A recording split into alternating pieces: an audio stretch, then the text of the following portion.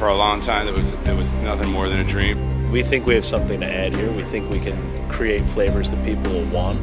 We're brewing. We're making beer for the first time. I think our capacity right now is about 1,500 barrels a year. Behind me is Carton Brewing Company, one of the newest craft breweries in New Jersey. Jersey drinkers can expect both session beers and big beers. So tell me about what you're doing today. Um, well, we're brewing. we're making beer for the first time. So your system is, is finally in place and uh, it's uh, being used. What are you brewing? Uh, we're making the first batch of boat, and uh, we are Jamie from Newlands, the, company we bought it from. Made all this, brought all the steel. Jamie came down up from Texas, and he's uh, sort of walking us through it all, making, helping us work out the kinks. Like we had to re- retool the auger yesterday because that stupid slide gate wasn't in right. And uh, so, you know, we're, we're, we mashed in. We got here about 8:45 this morning. We, we weighed out uh, the, the malt bill, grained in um, into the grist case, and then got the got the foundation water in here, mashed in about. I guess it was 10 o'clock. We were mashing in. We're done by 10:15, um, and now we're uh, we finished. We, we let it rest for about an hour. We boil off for 20 minutes, or more, a little more maybe, until it was clear. That's what we were doing with the that wort grant. Yep. And uh, now we're now we're running off, sparging and running off into the kettle. And we got the, the, the jackets in our beautiful boiler on the bottom jacket. So we're heating up what we got in there, and and uh, we'll be boiling sometime now. I have no idea exactly when, but.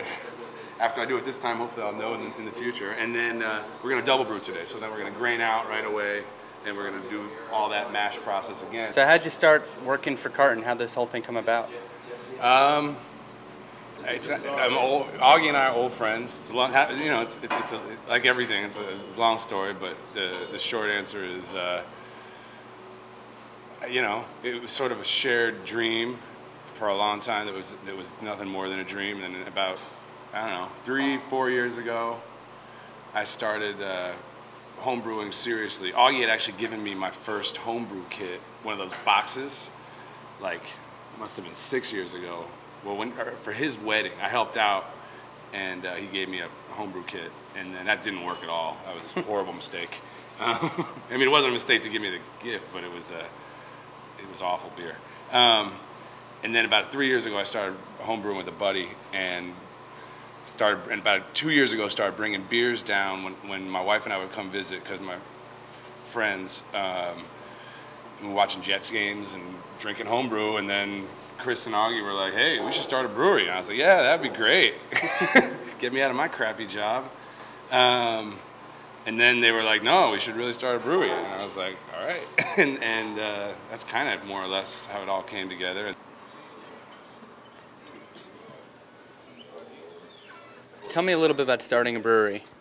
Um, I think we were we were drinking a lot of beers made by people we liked, and they were all kind of small and available, but not necessarily close enough to us. So we, we were finding the more we drank, the better we liked stuff that was closer, more available, flavors, but we were still needing to travel. We were needing to go to places like Delaware and Philadelphia and you know New York and Vermont were the kind of closest places that had enough of a variety of beer that we could drink it and keep it interesting and have fun.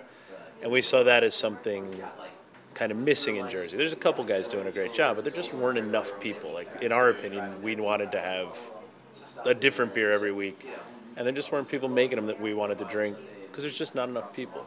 So we decided to step up and get involved and said, look, we, we think we have something to add here. We think we can create flavors that people will want. We definitely can create flavors we want. So behind that, we just started working on a business plan. How do you do it? How do you make it make sense? How do you, you know, who's the guy? And that's how we found Jesse and said, look, Jesse will run the business. You know, he'll be there every day, and we'll we deal with him and make our plans and execute them. And you know, we brew together on the weekends and during the week. Jesse's there making sure everything's running smooth. And, In terms of your marketing strategy and branding your brewery itself, what are some of your goals in the future and, you know, now that you're actually brewing? Um, for the time being, Jersey's got a very weird law structure where we can't really we can't sell our beer to people. Like they can't come to the brewery and drink it with us. without, you know, they can taste. We can do like four or four ounce tastes, and they can take two growlers home. But we can't really, like a brew pub, have an interaction with our customers. And it's not really a retail point of sale, so they can't really come back to us and say, "Oh, I love these two and didn't like this one." So, for the time being, you know, I think our capacity right now is about 1,500 barrels a year. I don't think that's a lot of bars. I think there's a couple very good bars around our area, and if we can find 20 of them that we have a good dialogue with, we're at Twin Light Tap right now, which is where we're talking, and, and Mark's a great guy, and he's got that, and he's got a dialogue with his customers, and we have a good dialogue with him. So when we're in here, I think we'll we'll get that feedback that the kind of New Jersey's laws keep us from having. So I think for the short term, what we want to do is get work our way through a couple styles of beer, get it in front of the people in our community, you know, through good relationships like this, get the feedback and find out what people really want. Ultimately, once we know what they like and we're making it, we're hoping that'll force us to grow.